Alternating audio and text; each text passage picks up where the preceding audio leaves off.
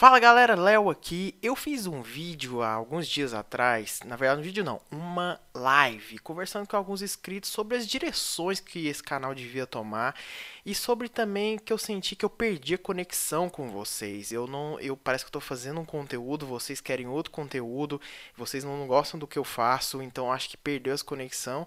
E eu conversei nessa live com um monte de gente e acabei lançando aqui na aba comunidade do canal duas pesquisas, certo? Agora a gente vai ver o resultado delas e eu vou explicar quais são os direcionamentos que esse canal aqui vai tomar por causa dessas pesquisas que vocês responderam. Claro que não é todo mundo que respondeu, mas por uma, por uma questão de amostragem, né, através dessa amostragem de quem votou, eu consigo ter uma dimensão do que a maioria gostaria de ver aqui no canal, certo? E calma que daqui a pouco o título desse vídeo vai fazer sentido. Bom, a primeira pergunta que eu fiz é: que tipo de conteúdo você mais gostaria de assistir aqui no canal?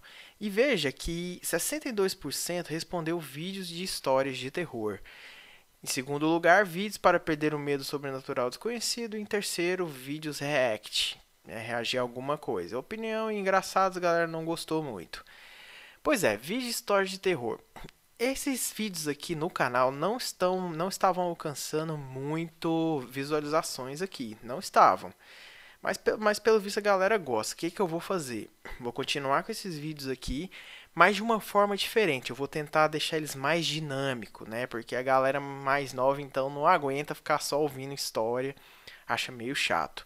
História que eu digo é creepypasta, ou história que eu escrever, enfim, depois procura aqui no canal que você vai entender melhor. E esse aqui, Vídeos para Perder o Medo Sobrenatural Desconhecido, vai ser um quadro novo que eu vou fazer focado nisso, para ajudar as pessoas a perderem o medo desse sobrenatural, esse desconhecido. E vai ser na forma de react, ou seja, já vou pegar o terceiro voto ali.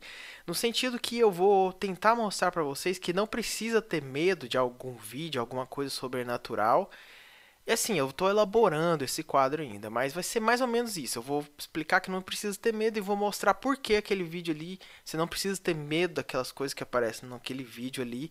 Então vai ser, vai ser uma mistura de Dark News com perder o medo, enfim.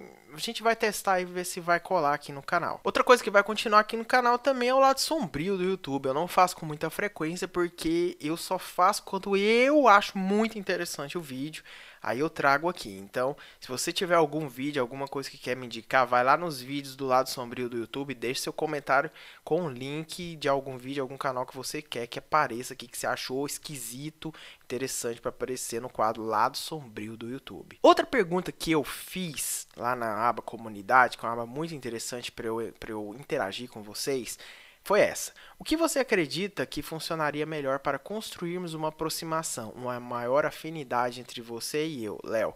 Fiz essa pergunta justamente para para ver se vocês tinham ideia de como resgatar essa conexão de novo com vocês. E surpreendentemente, e por isso o título desse vídeo, a que ganhou até agora foi você não quer construir essa aproximação comigo. Então por isso assim, nossa, eu fiquei triste com isso. Claro que eu não fiquei triste, né? Eu fiz isso justamente para saber a verdade. E eu sempre me guio aqui no canal, na minha vida pela verdade. Então você não quer. Porém, 39% dos que responderam falou que gostaria de ver vlogs mostrando meu dia a dia, minha vida. E teve outras ideias aqui nos comentários que na verdade era só resgatando Tipo, ah, faz vídeo disso, daquilo, mas não, não, não muito a ver com a pergunta. Diante disso, o que, que eu decidi?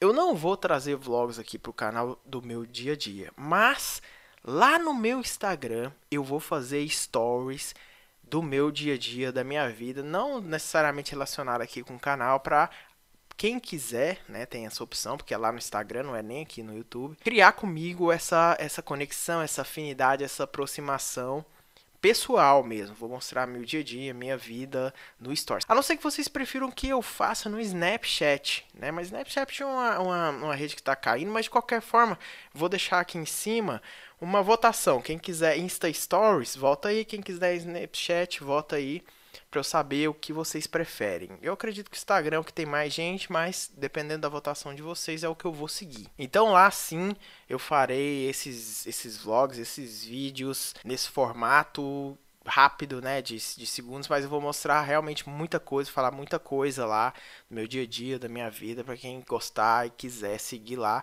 E dessa forma eu acho que eu consigo atender toda a demanda que foi revelada através dessas pesquisas que eu fiz. Se você pensa diferente, tem outra ideia, tem outra coisa, peço para você deixar aqui nos comentários desse vídeo que eu vou ler sim, vou dar coração e tal. No mais, segue o canal, segue os vídeos e a gente se vê no próximo. Tchau!